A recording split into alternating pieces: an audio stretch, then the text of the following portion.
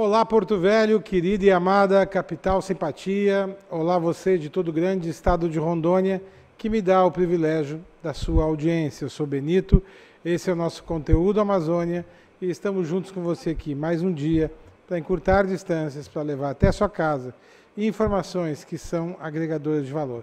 E para que tudo seja melhor, a primeira coisa é evocar, né? Aqui aí sobre todos nós as bênçãos e a presença de Deus. Que o grande arquiteto universo sempre nos dê mais justiça, paz, perfeição, luz, força e beleza em tudo que fazemos. Afinal, com quem Deus anda, nunca anda só e sempre anda bem. Bom, sem muitas delongas, está aqui do meu lado para falar sobre coisas da psique, meu amigo psicólogo, né, que é o Donizete, que é um cara que eu gosto, que é do conselho Agora tu ainda está no conselho como, mas não, mas como coordenador, tu tá como... Não, agora eu estou só colaborando, ajudando. Como colaborador do Conselho Estadual de Psicologia. Isso. Regional ou estadual? Regional de Psicologia. Ah, então seja bem-vindo. Obrigado, meu irmão. Hoje vamos falar com, com o psicólogo Donizete sobre depressão. E por que que o final de ano né, traz tanta depressão para tanta gente? Mas esse é um dos assuntos. Você está bem, meu querido? Muito bem. É, e mais uma vez agradecer a oportunidade de estar aqui trazendo um pouquinho desse, desse conhecimento da gente, esclarecendo um pouco mais para a sociedade alguns temas que são de relevância e de importância para todos nós, né? E às vezes a gente não para muito para falar sobre essas coisas. E você aqui é bom que você nos dá essa oportunidade de a gente levar essa mensagem é, para que as pessoas possam ter as alternativas, ter as possibilidades de ter uma vida melhor que o nosso objetivo sempre como acolher, como minimizar a dor dessas pessoas, a gente trabalhar em prol da sociedade. E a grande missão da psicologia é cuidar dessa sociedade que está muito adoecida. Então, hoje nós vamos entrar nisso. Tá bom, meu querido? Bom, vou chamar a vinheta e a gente vai começar a conversar, tá bom? Tranquilo, meu irmão. Por favor, eu nossa vinheta.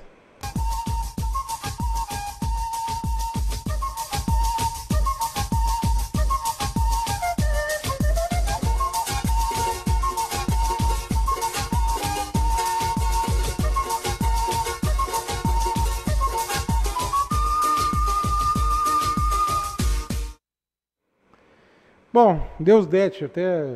Por que, que eu te chamei de Donizete? Faz mal. É, faz parte. É, é, porque se a gente não se conhecesse, até podia ser, né? É, não tem problema. A gente se conhece há, há mais de 10 anos, pô. Com certeza. Umas coisas assim que. Vamos começar. Eu sou alguém que, no decorrer da minha vida, tive episódios de depressão. É, aliás, eu desde muito novo eu sofri com ansiedade. E isso logo me, me trouxe a melancolia, a depressão. E depois, na idade adulta, na casa dos 30, eu conheci a síndrome do pânico. Que é outro mal que assola. Nossa, ninguém merece aquilo. E tu fica com sequelas pro resto da vida dessa última, então. Porque você sempre... É complicado. Como é que eu vou... Vou te falar, vou falar um testemunho meu. É, se você ficar muito ansioso, você vai começar a ter crise de pânico. tá entendendo? Depois que desencadeia o pânico. Já a depressão, ela, ela pode ser ela pode originar essas coisas, mas ela está desvinculada. Você não precisa estar deprimido para sofrer uma crise de ansiedade. Né? Mas Pelo eu diria para você que elas caminham muito juntas, não, muito sim. próximo uma da outra. Próximo, né? sim. A gente não pode, de maneira nenhuma, desassociar uma coisa da outra. Porque a ansiedade, é, tem alguns pesquisadores que dizem que é o mal da sociedade mundial porque todo mundo está correndo atrás, que nem tem um amigo meu que diz, correr atrás não adianta, né? A gente tem que correr atrás dos objetivos, fazer aquilo que está ao nosso alcance. Mas como diz que a ansiedade é o mal da sociedade, é o mal do milênio, porque nós vivemos numa correria, a gente não para. E é bom que se diga que nós não chegamos à ansiedade, nós não chegamos à depressão, nós não chegamos às crises de pânico por acaso. Todas elas estão acompanhadas de sintomas clássicos, mas que às vezes a gente não se percebe, o nosso familiar não percebe.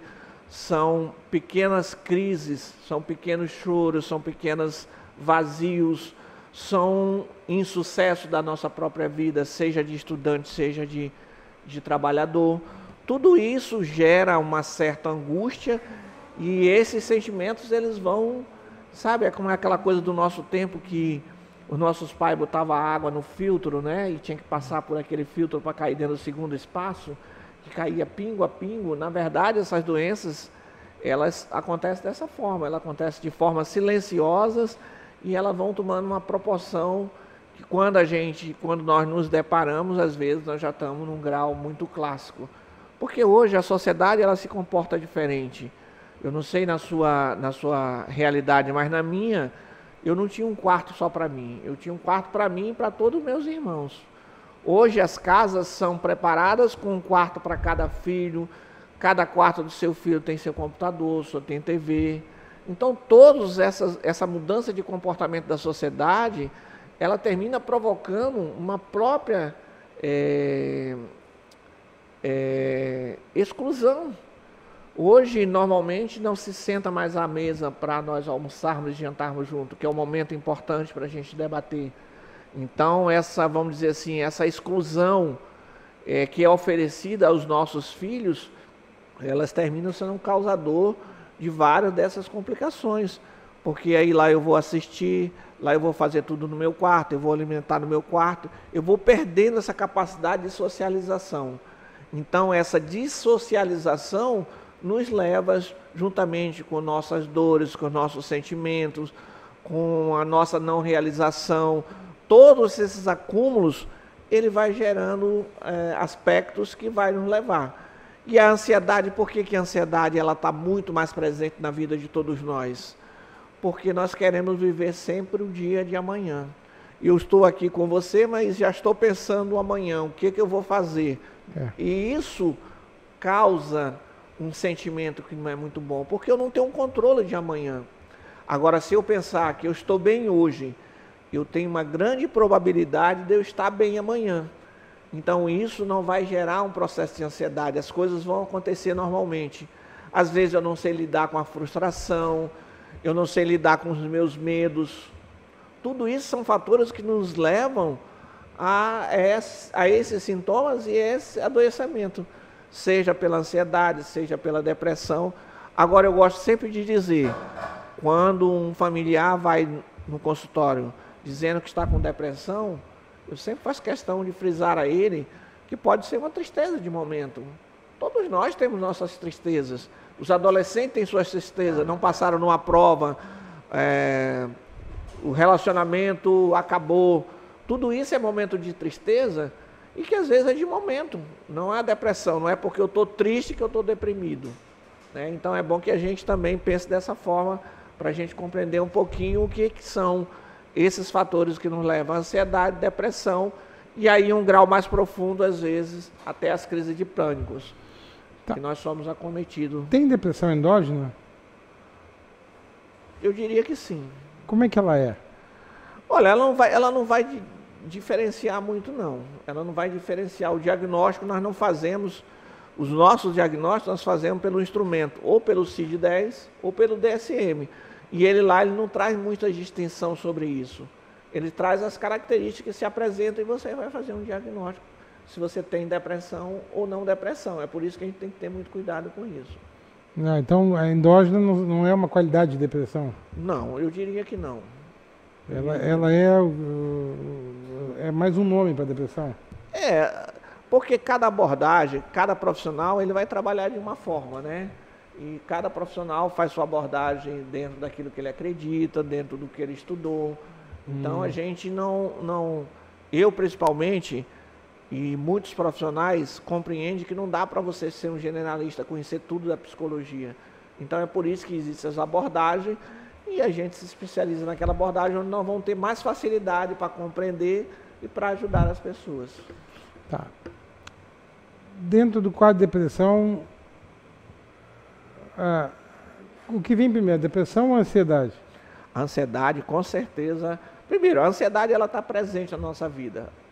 Né? Ela sempre vai estar presente, que é, aquele, é a adrenalina, aquele momento. Tá. E como nosso. é que a gente sabe que ela está passando o limite? Quando você já percebe que você não está vivendo hoje.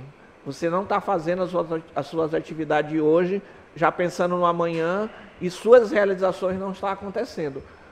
Eu tenho uma atividade para fazer hoje, eu começo a pensar no amanhã, e aquela atividade de hoje, normalmente, ou eu não vou executar, ou eu não vou executar contento. Porque o meu pensamento, toda a minha cognição está voltada para o dia de amanhã. Como é que eu vou fazer hoje se amanhã vai chegar ainda? Eu nem sei como vai acontecer. Tá. É, antes de passar pela síndrome do pânico, é, como é que a gente identifica isso no jovem? Porque no Brasil há um grande índice bem alto de suicídios de jovens. Com certeza. Como é que a gente identifica esses quadros depressivos no jovem que nem sempre ele abre a boca para falar disso? Nem sempre ele vai falar mesmo. Primeira coisa que acontece é o isolamento desse jovem. Ele começa não não participar das atividades escolares, ele começa a ter um baixo desempenho, ele apresenta um alto grau de rebeldia que normalmente não tem, ele passa a ser agressivo. Vários sintomas a gente consegue perceber que esse jovem está, é, aos poucos, entrando num quadro depressivo. Então é preciso você ter cuidado. Se ele não está bem na escola, verificar por quê. Se ele constantemente está brigando na escola, se a relação, se ele tem um irmão, a relação não está muito boa com esse irmão, se há um isolamento constante, se há uma tristeza com muito, por muito tempo, isso é um sinal de que ele pode estar no, entrando num processo de depressão. Ele não se cuida tão bem, a higiene dele passa a ser precária, ele, porque todo jovem ele gosta de estar na moda e se vestir bem. Hum. Se ele começa a entrar num processo de relaxamento, ele não se preocupa mais com o seu visual, tudo isso são sintomas clássicos de que esse jovem possivelmente pode estar entrando num processo de depressão. Tá. Como é que a gente atalha isso? Como é que. Tudo bem, identificou, faz o quê? Olha, nós temos duas formas de tratar a depressão: através da psicoterapia e, quando o caso está muito grave, é uma visita ao psiquiatra. Porque normalmente vai ter uma medicação para trazer o equilíbrio desse jovem para você fazer a psicoterapia. Porque não tem como você fazer uma psicoterapia com um jovem que está em processo de depressão, porque você não tem instrumento. Nós trabalhamos através da fala, através de como o cliente se comporta. E se eu não tenho essa fala, se eu não tenho esse retorno dele, fica muito difícil eu tratar ele. Então, nós tratamos um psiquiatra, a medicação, equilíbrio esse jovem, e aí, através da psicoterapia, nós começamos a trabalhar Quais são essas dificuldades do jovem ou o que está levando esse jovem a um processo de depressão? Normalmente os quadros são mais. É, é, entram em processo de normalidade, vamos dizer assim, quando ele faz a visita ao psiquiatra, passa a tomar uma medicação, e aí a psicoterapia vai funcionar muito bem. Tá. Aí, pânico. Crise de pânico. Quando é que você sabe que você já está com crise, com síndrome do pânico? Porque assim, você sente um monte de coisa no começo. Com certeza. Tá? Um monte de. você acha que vai ter infarto, vai ter isso, vai ter aquilo outro. E na verdade você está tendo crise de pânico. É, Porque se você não. Não existe um manual para crise de pânico, só depois que ela é pânico mesmo, é. tradicional. A crise de pânico, um dos sintomas principais é você, por exemplo, você vai viajar daqui para o Maitá. Então você já começa a imaginar que você vai passar sobre a ponte do Exato. Rio Madeira. Aí você já começa a sofrer. A primeira coisa que vem numa crise de pânico, e você já passou por uma crise, você vai saber, é a falta de ar. Parece que a respiração não está acontecendo normalmente. Eu imagino que vou morrer porque está faltando o ar e eu começo a ficar muito ofegante. Eu vou aumentando esse processo, meu corpo vai alterando o processo normal dele, a circulação sanguínea vai aumentando, todo o aspecto do meu corpo ele se modifica numa crise de pânico. É por isso que eu entro em desespero, é por isso que às vezes eu entro em choque. E aí eu entro nesse processo desesperador. Mas tem uma coisa que é importante a gente dizer. Uma crise de pânico não vai levar o indivíduo a, a, a óbito. O que leva o indivíduo a óbito é as consequências desse, desse, dessa crise de pânico. Em um momento eu querer me jogar, ou no momento eu tirar a minha própria vida, aí sim. Mas a crise de pânico em si ela não vai te levar a óbito. E eu trabalho muito com meus clientes que têm crise de pânico, dizendo a eles o seguinte: vamos aprender a lidar com a crise de pânico. Como assim aprender? Porque é um processo que vai vir. Então eu vou aprender primeiro, eu não vou morrer devido à minha crise de pânico.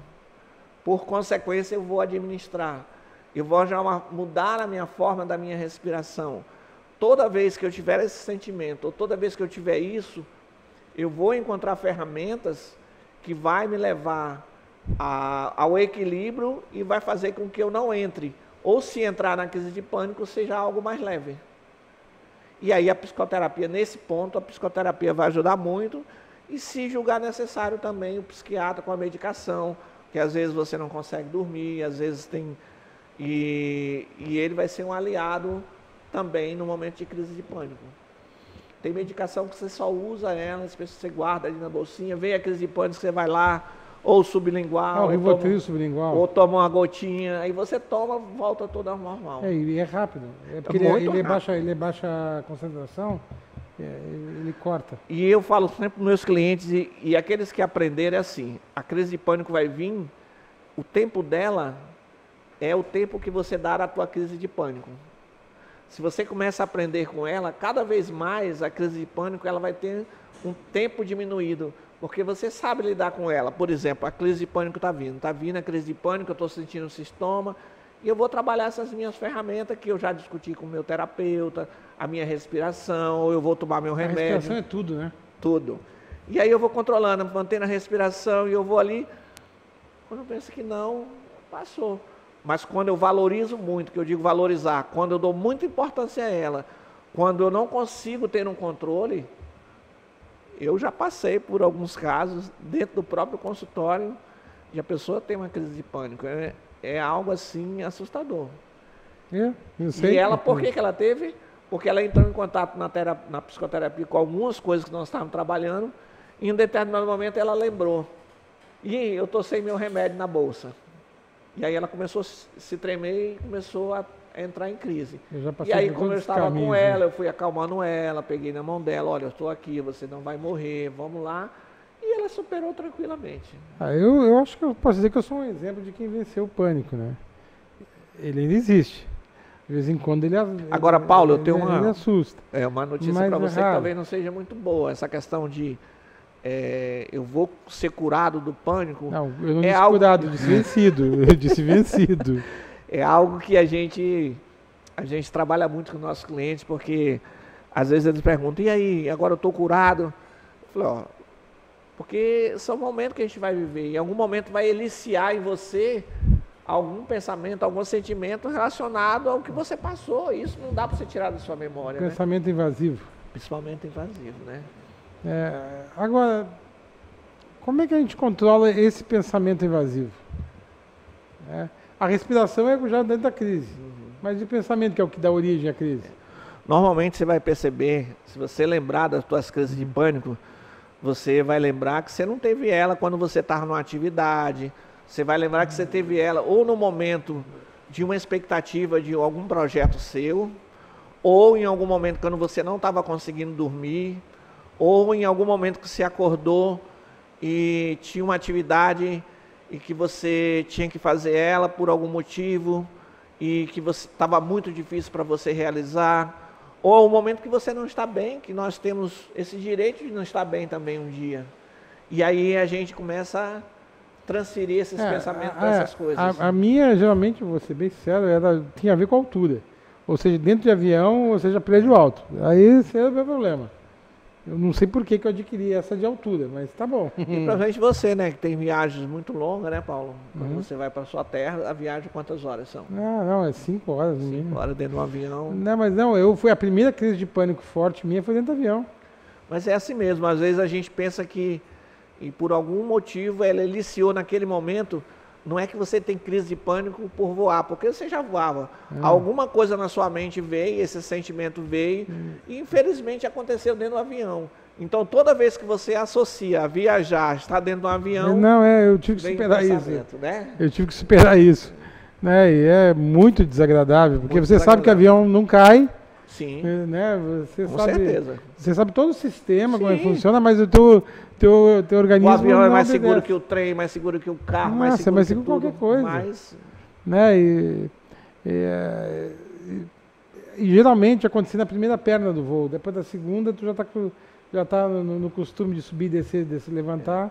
Aí vai Eu passei diminuindo. por uma situação dessa num voo que eu fui, até pelo conselho, eu fui para Brasília E uma senhora estava do meu lado e ela começou a apertar minha mão, apertar minha mão, apertar minha mão e já estava. E eu senti que ela estava desesperada. E, e, aí eu virei para ela, pedi, chamei a moço, pedi para tirar o cinto meu e dela, dei um abraço nela, comecei a conversar com ela, ela foi se controlando e foi é, entrando em equilíbrio. Quando chegou em Brasília, ela tirou uma foto comigo que disse que ia guardar para sempre na vida dela por eu ter sido anjo da guarda dela. E ela falou, aí quando eu cheguei no aeroporto, ela disse, e o senhor, muito obrigado. Eu falei, eu sou psicólogo. Ah, então é por isso que você me ajudou. Eu falei, não, lhe ajudei porque eu sou um ser humano e eu percebi que a senhora precisava. Não, mas ela se sentiu muito confortável comigo de eu ah, Eu digo, eu, eu, venci a crise do pânico, eu, mas eu não me livrei dela. Né? Sim. É, depende do caso, assim, é possível que eu tenha um episódio ou outro, mas eu já tenho dispositivos pessoais para enfrentar ela. Sim. Né? Você criou instrumentos que você consegue. O problema é que leva muito tempo para tu aprender a lidar com isso. É. Leva muito tempo. Porque é muito dolorido, é, é muito. Eu fui mais de 10 anos sofrendo com isso. Ah, eu não quero para ninguém. Nem para o meu pior inimigo. Tá, eu vou chamar o intervalo começar no próximo bloco, a gente arremata esse assunto, tá bom? Perfeito. E falando assim, hoje, como é que está é, a identificação está mais simples, porque na minha época, até para identificar o pânico era mais difícil. Com certeza. Há 10 anos atrás era bem mais difícil, 15, né? Então continue conosco, é jogo rápido. É num lá, outro cá.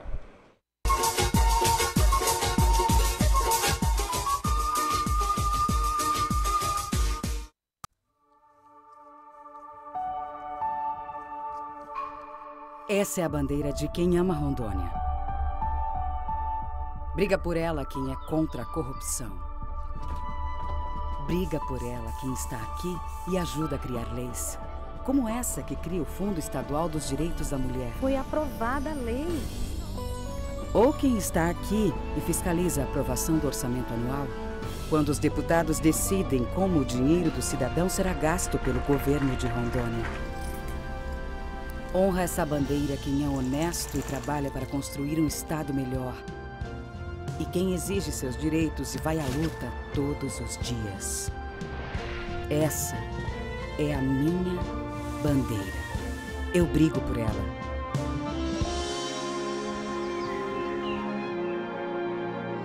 Assembleia Legislativa de Rondônia. O poder da sua voz. Você precisa cuidar da sua saúde. Está sem plano e cansado de ter que esperar? Venha para a Sol Saúde, próximo à Praça da Pirâmide, com as principais especialidades médicas, exames laboratoriais, com toda a atenção e agilidade que você precisa.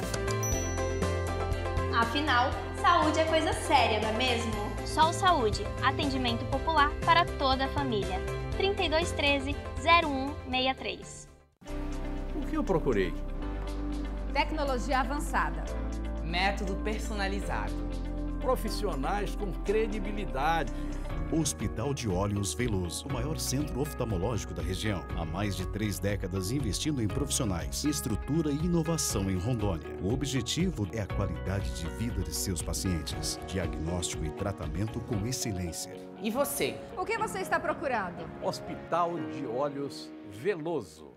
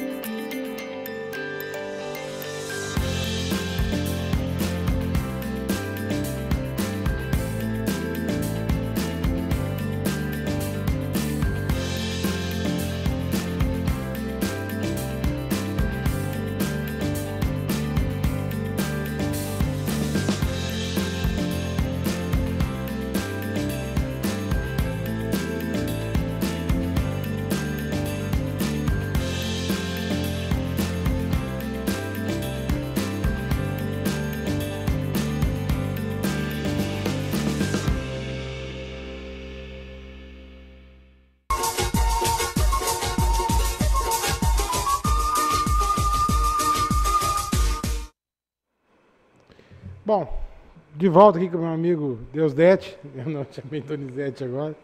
Pô, mais de 10 anos a gente se conhece, cara. Como é que era o teu nome, pô? É o final de ano. Então, final de ano. É, eu não sou um cara que gosto horrores do final de ano, assim. Eu não sou. é, até porque eu tenho outra sistemática, até por questões de princípios religiosos. Então, para mim, final de ano é, é mais complicado do que legal. Né? Assim, falando sério. Mas uma coisa que eu noto é que final de ano, em vez das pessoas ficarem boas, elas ficam do mal, cara. Elas brigam mais no trânsito. Desavença em família começa geralmente né, no final do ano. Gente que entra na questão do alcoolismo no final do ano. Tá? Eu não sei, o final do ano não tem. A não ser bem talvez na véspera, Natal, dia 24, que aí as pessoas é, querem deixar entrar o espírito natalino, mas o espírito de porco é o que domina. É, nossa, tu tem, tem- tem que tomar cuidado no trânsito. Sei lá, eu acho perigosíssimo o final do ano. Mas eu queria ouvir você, por que, que as pessoas se transformam no final do ano? Sem contar aquela leva que se deprime no final do ano, né? Bem, vamos lá, vamos, vamos pelo lado sociológico É. da coisa. Primeiramente, as pessoas elas não se encontram muito. As pessoas têm N atividades, N profissões para manter essa questão do ter hoje, né? Que hoje as pessoas procuram ter ao invés de ser. Então, quando chega o momento do Natal, é o momento que normalmente as famílias vão se reunir. E as famílias, elas se reúnem e tem um contexto, no seu contexto familiar, a comida, a bebida, e aí se explora muito esse lado. O lado da tristeza que você me perguntou, talvez seja pelas frustrações, porque nem todo mundo tem condições, e como o Natal é alimentado pelo capitalismo, não sei se você concorda comigo, Uhum. mas ele é alimentado pelo capitalismo, nem todo mundo pode viver o Natal como é pregado nas- nos comerciais e nos jornais. O que se prega? É as propagandas, onde cada vez mais você tem que comprar, tem que presentear. Uma coisa que eu acredito que o presente ele deva acontecer a qualquer momento. Ah, O momento que eu estou feliz, eu vi algo que parece com minha esposa, com meu filho, com minha namorada, com meu namorado, eu vou lá e presenteio, mas as pessoas têm essa questão de presentear.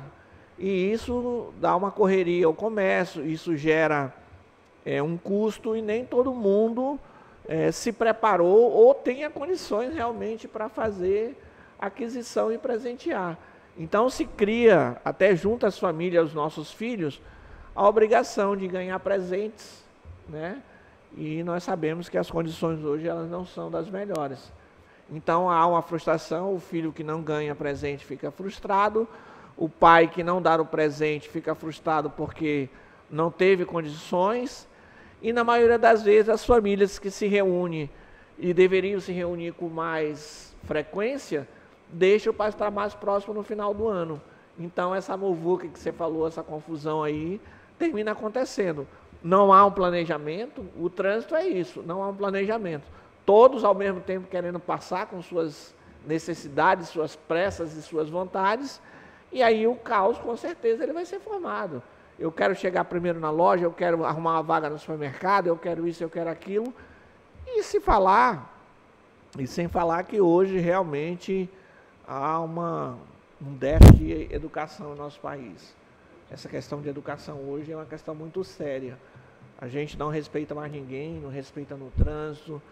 Então, tudo isso junto, o- Paulo, ele termina gerando esses conflitos que você me questionou. Mas eu diria que é uma questão mais social, é, devido todo isso que se prega no Natal. O Natal não é isso. O, o Natal, para nós aqui, é uma celebração de paz, de amor, de fraternidade, de bondade. É para ser de alegria. É para ser isso, mas ela termina é, virando outra coisa que perde totalmente o foco do espírito de Natal. Em 30 segundos, tem alguma receita para amenizar?